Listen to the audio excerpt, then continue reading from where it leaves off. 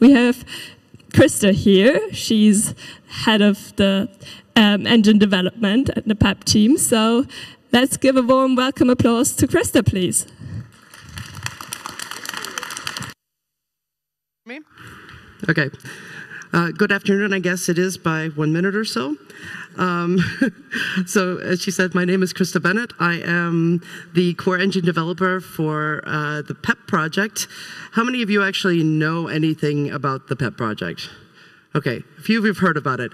Uh, typically, the talks about PEP have been um, the sort of sales pitches we want to get to people for the project, but I am not a PR person. So instead, this will be slightly more technical. It's not super technical, but um, what I was thinking I really wanted to do was I've worked there for about two and a half years now, and it's kind of an ambitious project. So, Pretty Easy Privacy, or PEP, aims to give encryption to the masses and make it easy for everybody.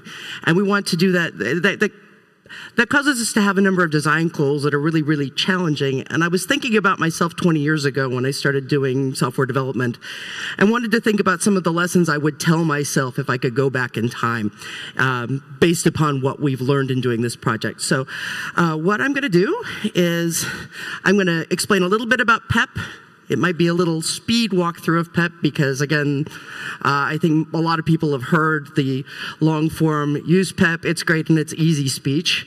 Um, and then I want to talk a little bit about our architecture because a lot of our architectural decisions have brought up some really unexpected challenges, at least for me um, as a developer. Um, a large part of our software is intended to be free because we like free software, it's good. Um, but a lot of our users use proprietary systems, and we want to be able to reach them because we want everybody to be able to encrypt and be private. So that compatibility actually causes a lot of issues. And then um, email has been around for a long time, and so you would really expect it to be super standardized. And it turns out it's really not. So I want to talk a little bit about that because that's uh, that's been kind of well, I won't call it the fun challenge, but it's been one of the more interesting challenges for us to continuously deal with. And then kind of wrap it up with some, uh, uh, what, what, what we've all learned from all of this uh, working at PEP. So um, I'll start this with what PEP's supposed to do. So uh, PEP is a secure private messaging solution um, right now it's just for email, but it's basically intended to get everybody encrypting all the time so that we can beat mass surveillance. Yay. Um, if there's one person encrypting, you know, if I'm sending you some mail, you and I encrypt to each other and nobody else does it, that stands out. If everybody's doing it, nobody's interesting. So if we can get people doing it by default without thinking about it, then I think we've won something. And it also makes it a whole lot harder to go, you know, search through the internet for keywords. Um, and I, I know grandma calls you up over the holidays or makes you go up to her room and fix her computer, but she doesn't really want your tech support. And so we'd like to give both you and grandma a break and letting her have a product that she can install and forget about that still does the complicated work of encrypting your email. So um, this looks like I downloaded it off of our webpage because I did. But um, I'm going to give you a short overview of the PEP protocol, just so you can understand what it's supposed to do, and then we'll get into the other stuff that I really wanted to talk about. So let's say grandma has downloaded PEP, and she wants to communicate with her grandson Bob, and he also down downloads our product. When they both download PEP to handle their emails, um, on both sides, keys are generated and they don't have to think about it. They don't do it on purpose. They don't have to understand what a key is. Then the first time Bob mails grandma, he sends her an unencrypted mail because he doesn't know, he doesn't intentionally encrypt anything. He's just using the product to do that. And it contains his public key. Grandma gets the public key and she sees that there's, a, there's an email from a PEP user, and the PEP, her PEP product, when she reads the email, goes, aha, it's a PEP user. I'm going to communicate my key back to him when I reply, and I'll encrypt to that key because it's there. Um, it's not a trusted key yet because we haven't gone over any particular secure channels to verify that these keys belong to each other. But at least, if, even if they just stopped there, they would be communicating with encryption and, again, not worrying about it, not intentionally encrypting. But of course, we want to be able to verify keys. How many of you verify all the keys of all the people you encrypt to? And if anybody raises their hand, I'm going to call you a liar. Well, maybe one guy. Okay, one guy. Um, we want people to be doing that verification process, but we want to make it easy because reading out a super long hash over the phone to somebody is something that people just don't do. And it's not that it's hard, but people don't do it. We want to make it simpler. We want to make it part of the interface and part of the process. So what we do is uh, we've mapped the fingerprint space to trust words in various languages. Those fingerprints, um, this is a little bit wrong because we now use a combination of the fingerprints to, to generate the, the trust words. But basically on each side, you say, okay, I want to, you push a button, it says, I want to, uh, I want to verify grandma's key.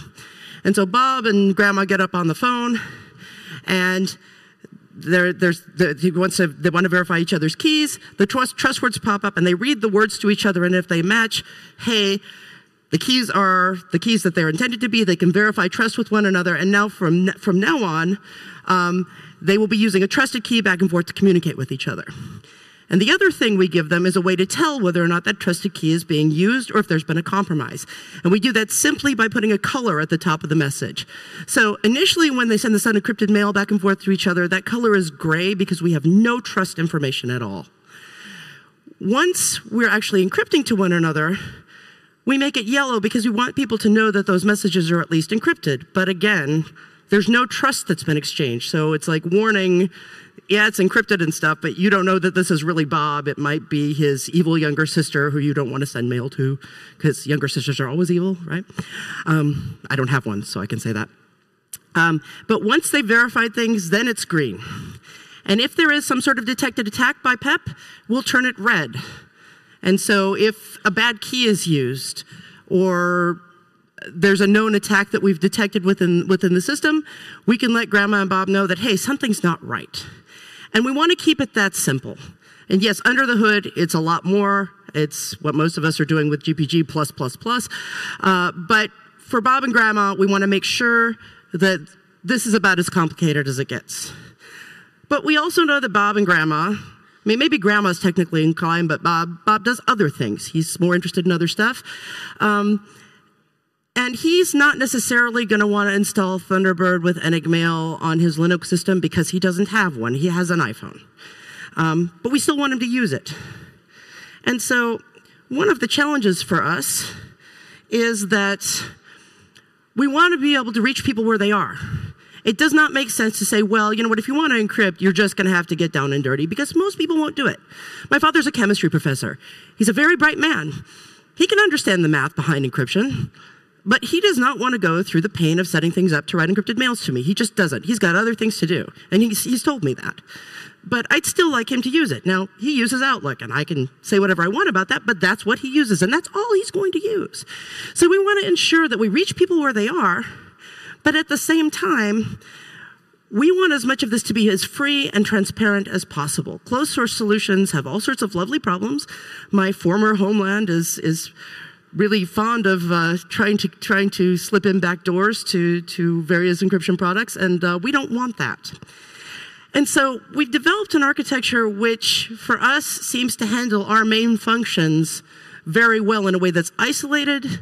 It remains free software and we're still providing services for applications which, which are at a level that people are normally at. So, um, let me see if I can explain this. So, I am the core engine developer. I work way down here. The engine, there are two main, I, I guess two, I would call them two main functions. There are probably other things we do that I should talk about, but we make sure that all the cryptography happens down here, and we make sure that the mails get parsed and generated and dealt with, and everything gets decrypted and put in the right place, and keys get imported. All of the crypto stuff, all of the really detailed MIME stuff that, that needs to happen to a message, that happens down here. Part of our architectural design, too, is to separate this sort of cryptographic complexity and protocol complexity and everything else from the UI complexity. You don't want me designing your UI. Anybody here use GeoCities back in the day? Blink tags? Yay. Um, that's what it'd look like. It'd be awesome. And my son would never speak to me again. Uh, so we want people who are experts in writing applications to have an easy way to implement our protocol. Um, but at the same time, we don't want them having to worry about the crypto and stuff. So we've separated those things and provided sort of an API layer, these adapters, which allow them to actually sorry, sometimes I get tripped over my tongue. Um, they, allow, they allow application developers to be able to interact with our engine without having to deal with the, the really dirty stuff. And it allows us to rely on people who are way more expert and way better with user interfaces and design to deal with what's actually interfacing with our customers. So up until the adapter level, up above the adapter level, and so from the, the adapter level down, that's all free software. That's all maintained by the foundation part of our entity, which is a nonprofit. Applications that we develop for money, those are handled by the company, PEP Security, and those are non-free. That doesn't mean you couldn't develop a free software client on top of the engine. Uh, but it does mean that this is how we, we, we have to make our bread. And again, we want to reach people where, where, where they are. It has some other kinds of implications, though. So, because those are proprietary apps, that sometimes makes it very hard for them to interface with free software. We all kind of know this is an issue. And our decision to do things this way, to keep it free at the bottom and to make it available to everybody at the top where we're with everybody, has created really one main set of challenges for engine development. So there's, there's that set that comes from this architectural design, and the other is simply the domain. Again, you'd think that, I mean, I've been on, I've, I've, I've had email since 1991. You'd think it would be easy to deal with, right? I mean, should be standard, everybody does the same thing, and it's really not. So, um, yeah, it's not. so, um, I'll start with talking about the free and compatible idea. So we want it to be free. We want free software. It has to remain compatible with these upper level uh, proprietary software pieces. And there are three main challenges with that that I'll discuss. So the first is making sure we all speak the language, the same language. And use a portable language. C is great. You can use it everywhere. Um, we so the engine is all in C99, um, kind of, but Microsoft does some things in its compiler that are not exactly C99. So we always have these little challenges on various systems where it's like, yeah, there is a standard, but platforms like to deviate just a little to make your life fun. Um, we want to limit the dependencies we have because, especially with free software, you might have several different licenses you have to figure out what are going on. And we have these two we have these two main things that we do down in the engine, cryptography and MIME processing we don't really want to roll our own. I mean, rolling your own crypto, well, some people can do it. Where's Neil? He's there. Hi, Neil. um, you want somebody who knows what they're doing to roll their own crypto, and yeah, I understand the cryptography behind it, but I am I'm not a cryptographer. Um, and MIME, it just turns out, is really freaking hard, and the and and and we want to limit the dependencies to the stuff we really have to borrow from somewhere else. Um, these adapters are really nice for making sure we speak the same language. Basically, it's, you know, translation from iOS's version of a message object into what ours looks like, and that goes from Objective-C to C, or for Android, it's JNI, it's Java to uh, Java to C. So that's that's how we sort of deal with it, um, but it's a challenge. Um, not quite as challenging though as the libraries themselves. So uh, for the most part, what we've had, um, I guess, most trouble with in terms of making things work together is getting crypto library licenses and what the proprietary guys will let us deal with to work out. So everybody knows the Apple Store is really, really nice about letting you have GPL libraries in there, as in you can't. So right now we have a couple of different crypto engines we use. We were using GNU-PG. Most people use GNU-PG. It's kind of a standard. Um, but since we can't use we can't use GPGME, which is a library interface to it in uh, in the Apple Store, we have to use we had to find some other free library that does crypto. Now, there aren't a lot of super awesome crypto libraries out there that are free, and you want to be really careful about those. And so we use NetPGP, which is available under a FreeBSD license, but I think the last official update of that was in 2010. We maintain a fork, which is more updated. Um, and that's what we've been able to find that works for us at this point. And so that's something that, that's, that's difficult because then you're maintaining another project just so that you can actually be able to deal with this proprietary store. Um, even if you have two great free software, uh, software crypto libraries that everyone's going to use, you can't really just do drop-in replacement. So we have kind of an additional, it's not an adapter level, but it packages things so that they look the same semantically as far as the engine's concerned, but it may be that one crypto engine does things incredibly differently. So for example, NetPGP does not do detached signatures on non-files. So GPG will let us do it with, with, with a string we have in memory. We can get a detached signature for that. It's something we need. Um, NetPGP doesn't let us do that. So you, then you have to go into the code and like figure out how to do it yourself and, and write another adapter. And sometimes that can be messy. Um, one thing that is sort of, I guess, one of my favorites is that uh, if you're a free software developer, one of the great things about it is you get to decide or you get to make more decisions about how that product how project works. You can make, if you've got a religious conviction about a programming language or a way of doing things, if it's your project, you can do it. Your boss is not going to come to you and say, hey, you're fired, I want it this way. Um, you know, there are consequences to that, but you get to make those kinds of decisions. Um, so even with really good libraries, sometimes the developers, have, developers of those libraries have intent that is not compatible with yours. One of the things we try to do with PEP is to give as few prompts as possible, especially prompts dealing with crypto, because we don't want people to have to say, you know, 10 times, do you really want to delete this key? Do you really want to delete this key? Because we don't want them thinking about keys. Uh, but, um, for example, GNU-PG prompts for certain things, and it does it very, very intentionally and with some, I think, force of purpose behind it. And getting out of doing those things turns out to be a lot harder than you would want it to be because maybe the developer thinks it's so important that he doesn't want to make it easy for you to do that. Or she, I could be doing it too. Um, but sometimes there's also no good open source library solution because the problem is hard. And that's sort of what I'll get into after this, which is that our domain, MIME, is really, really ugly. And we do have a free software MIME library, um, and I don't want to be too critical of the developer because we I tried to write, write one and it turns out it's it's a difficult, difficult problem. But regardless, often there's not the thing available, the, the tool available that you need to be able to do the development. And then the question is, do you have the time? Do you have the resources? Do you have the knowledge to roll your own?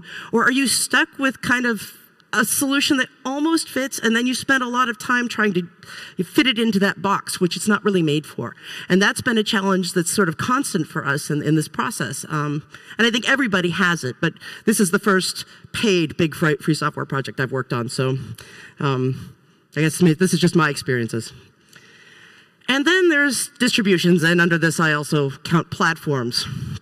Um, so Lions and Tigers and Bears, Oh My, is a popular American kids book. This was languages, libraries, and distros, Oh My. But the distributions are not usually my nightmare. But the default distributions for, and I'll, give GNU-PG as the example because we had a big fun time with this. Debian's default, Ubuntu's default, Fedora's default were all completely and widely different. And in fact, internal parts of those libraries, so dependencies that were related to GNU-PG, were very, very different from one another. And it turned out they had very different functionality, and that functionality was super important to us. Some of those libraries were broken. We couldn't do anything with them. And so if somebody installs the system default, which of course we kind of want to let people do, we want this to be easy, um, it's bad when we tell them, okay, well, you have to go to a PPA to get uh, a different version of this, or we have to package another version and ship it with the product. So then they have two versions of the library on the system. Um, it can be really difficult, and you know, sometimes, sometimes I don't usually expect Debian stable to have bleeding edge stuff, but sometimes it does because it's well tested. Um, and sometimes it's decrepit and hasn't been updated since dinosaurs walked the earth, and sometimes you've just got a bunch of all of it. So that can be really tough. Um, the other thing is that some distributions that we use have an installation candidate for a, a piece of software that we want, and sometimes they don't. And um, sometimes that is something that's default with the operating system. Sometimes there's a lot of extra installation. So this is always a problem with dependencies, but uh, it, it's become particularly messy with us because we, again, have these proprietary platforms on top of it. So it's not just a matter of am I using Ubuntu or Debian, it's, well, what is iOS going to do with this? And uh, what will Windows do with it?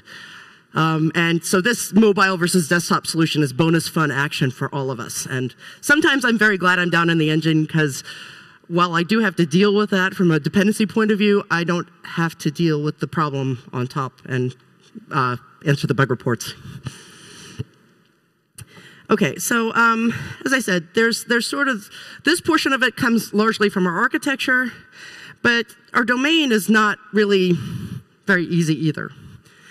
So the MIME standard, if you so so if, so if you've ever looked at the source of a mail, sometimes it'll say like content type message RFC 822, and that's the initial standard that was released for internet mail messages back in well when dinosaurs walked the earth. Um, and it would be nice if you could just take that grammar and shove it into a parser generator, and in doing so, uh, magically get something that'll parse all of your emails. And you would also think that it would be standardized because you've got so many different email clients sending stuff out through the internet. How can we all possibly read each other's emails if we don't agree on something? Well, it's because there's this rule which says if you are doing MIME, you should accept very liberally. Take almost everything you get in and accept it and find something to do with it. But what you should produce, you should produce strictly according to the rules.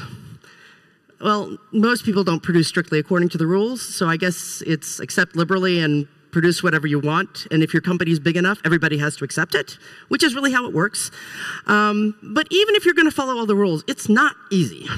So um, an RFC, if you don't know, is a request for comments. It is often a formalized statement of the accepted practices for something. So, for example, for internet mail messages, it's what people were doing to send internet mail, and somebody said, well, we need to formalize this so everybody agrees on it. And then the request for comments goes to the IETF and is accepted and or rejected or modified several billion times. So RFC 22 was the initial standard, but that's been superseded by RFC 2822, which has been superseded by RFC 5322, which I think the current standard. But you can't just say, okay, well, I'm just going to read RFC 5322 for two reasons. One, it refers back to the other two repeatedly. And if it's only those three things, that would be great. Those are just the things for mail messages. But it also is one of these things where, well, let's say we've changed something between 822 and 5322. Somebody out there has got a client that doesn't implement the difference. So if something has been implemented or suggested in a standard, it is in the mail space forever. So you have to deal with what was and what is, and sometimes they're in conflict. The other thing is, well, I, those were the standards I gave you, but these are updated by RFC 1123, 2156, 1327, blah, blah, blah, blah, blah, blah. Um, and that's all I could get with sort of a one level of depth of clicking through the RFC. So you have to read an awful lot just to kind of understand what's going on out there. The grammars themselves sometimes seem to be in conflict with themselves. So generating your own parser and generator would already be hard. But that's not enough. That's just mail messages. But at some point, people started to decide to send weird things to each other, like videos and PGP keys and other things, other kinds of content. And that's where MIME comes in. So those are the eh, multi-purpose internet mail extensions. And there are, it's in five parts. It's great reading. If you're, you know, if you've got something, nothing to do between now and New Year's, I highly suggest you avoid them. Um, but again, these are also updated and obsoleted by lots and lots and lots of RFCs. And they don't go away. If you really want to do it right, you end up having to come in contact with them. But there's more, because we don't just do MIME, we do MIME and crypto, MIME plus crypto, and I know I don't have all the RFCs for these, and uh, Neil can make faces at me. These are sort of the main top level ones. There's one for crypto, uh, cryptography or so encrypted messages and signatures via MIME. That's RFC 18, 1847. It's the initial one. There's one for SMIME, which PEP doesn't do. And then there's one for PGP MIME, or two for PGP MIME, which we do. And I'm sure there are more because I think there's one that starts with 40 that I can't remember at the moment. So there's quite a bit of this. And this is really what it would take if you wanted to make a magic email parser that, uh, that deals with everything out there. And um, we have a free solution. It's called libetpan. And if you look at the code, which is difficult to understand, it's not, not terribly well documented, you see that the attempt has been made really to do what I just suggested, to take the grammar and literally translate it towards a parser. And that is problematic. Because big companies do whatever they want. And sometimes customers want weird things. So, for example, um, enterprises are concerned about security. And I'm not really sure what the attack is they're concerned about, but for example, Exchange has something called header firewalls. And that means, so when you send out an email on the internet, you know, it's got all these headers. There's the ones that we all see, if you don't hide them, that are from and to and subject. But there's also some additional stuff, like what time it was sent at and the, the various servers it was received by along the way. And there's something called X headers, which are supposed to be optional headers that people can use to put additional information in. And we use some of those in order to identify our messages. Um, but mm, header filtering is something that's used to filter out any non-approved header. And that's perfectly legitimate according to the RFC, but it makes things difficult if you want to do anything with, with email headers. And I actually don't know if filtering out X headers is okay. There's a bunch of others that are okay to filter out. But this kind of thing happens. Um, Symantec decided to rename our attachments, I think, and that causes some additional problems. Um, and these are things that are maybe they're either unspecified or specified you're not supposed to do them and it doesn't matter. Sometimes people leave things out or they add things that are not allowed. So there's, okay, so there, there's two kinds of, of, I guess, returns. There's a carriage return and a line feed. And back in the day when you were either typing on a typewriter or you had a, you had a teletype terminal, um, a carriage return ends the line and goes to the beginning of the next one. Technically speaking, I think a line feed just advanced it one line. These are just characters for us. Uh, in C, it's slash N slash slash R. Um, but we call them CR and LF, so carriage return and line feed. And this is really dumb and it sounds really stupid, but it's used as a token everywhere in a MIME message. So in order to be able to parse on MIME message and understand what it's doing and break it up into the right parts, the there's a carriage return line feed sequence, it's called CRLF, that must be in all the right places at all the right times, or things go bananas. Uh, except for there are some clients which do what the RFC says not to. So the RFC says the body of a message is simply US ASCII characters. There are extensions to that, but this is the, the, the, the mail RFC. And the only two limitations of the body are, are, as follows. This is, this is the first one. CR and LF must only occur together as CRLF. They must not appear independently in the body. So a carriage return before CRLF is technically not okay. And uh, there are clients that don't accept that. And our library certainly didn't because that was not okay in the grammar specified by the RFC. So we choked on that for a long time. It's small, but trying to find that and figure out what happens takes a lot of your time. So it's technical debt you get every single time you use one of these, uh, these the, every time you use uh, somebody else's library because you're going to have to spend time figuring out why it doesn't work for you. And that means you get to know their code too. Um, and sometimes people add things which aren't part of a standard. It doesn't mean they're wrong or even entirely specified. Now, I haven't looked at the memory hole specification, which is a way of removing metadata from the headers of your mail and sticking it into the body of the mail so that it can be uh, encrypted and safely used until it's rece received on the other end. But when memory hole was initially specified, it was very vague. And that's definitely not in the standard, and there's some additional things that, that Enigmail has put in uh, uh, to be able to, to use memory hole, which is, a, which is a nice idea for protecting this metadata, but my parser is going to choke on it or at the very least ignore it. And so that's one of those things, again, we have to go back into the code because it's, it's not a standard thing. Um, you know, and sometimes something's totally standard, but normal clients choke on it anyway. So if you have a really long file name, or you use a non, um, you, use a non-Unicode character set, or actually no, Unicode is a problem. So you use a non-US ASCII character set, then there are some special things that happen with it in the MIME. But some clients just rename it. Some clients ignore it entirely. And some use the correct format for that. And it turns out that a lot of clients choke on it when you do what the RFC says to do. So it's not an easy problem. That's why I don't want to bash, uh, bash the provider of our, our, our library. But at the same time, it costs a lot of time and effort to figure out why it doesn't work. And then you have to go back to the RFC and go, aha, this is or isn't in the RFC, and that's why it's not implemented. So um, that's, uh, this is my personal nightmare. Every time I have to go back in here, I want to cry. Um, well, what does this all mean? For the domain we're in, it means that MIME is hard, and standards don't solve everything. And um, my boss is a, is a really bright guy, and he's really good at generation of code and yeah, all sorts of stuff. And he really wanted to be able to just generate a MIME parser.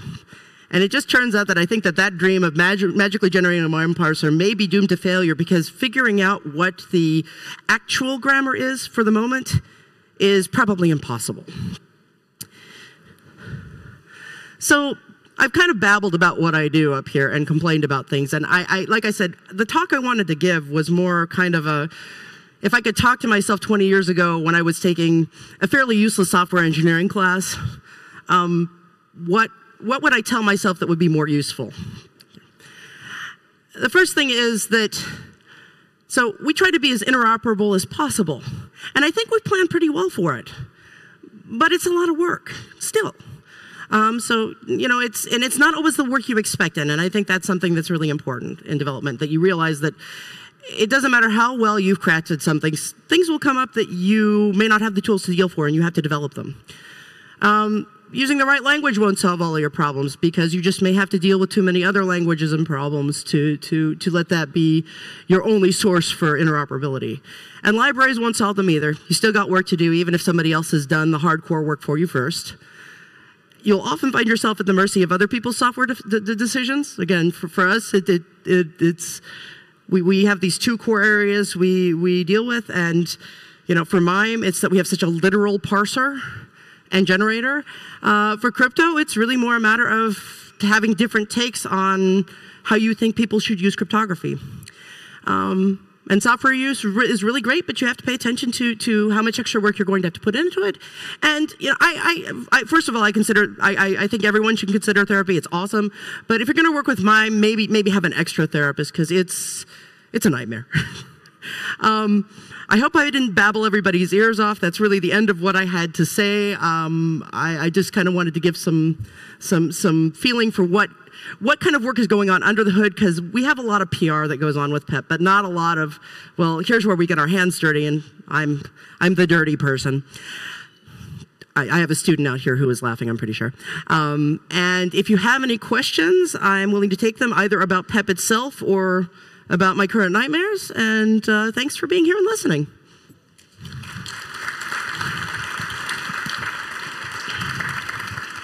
Thank you, Krista. So we have lots of time for Q&A. So if you have any questions, there are two microphones in the room and you can line up there. And while there's no one standing up yet, do we have questions from the internet, Signal Angel? No, the internet is fully encrypted and has no questions. Excellent. Anybody in the room? Anybody still awake? Raise your hand. Okay. Well, seems like there are no questions, so then we have to thank Krista again. Give her a nice applause for this awesome talk, please. Thank you.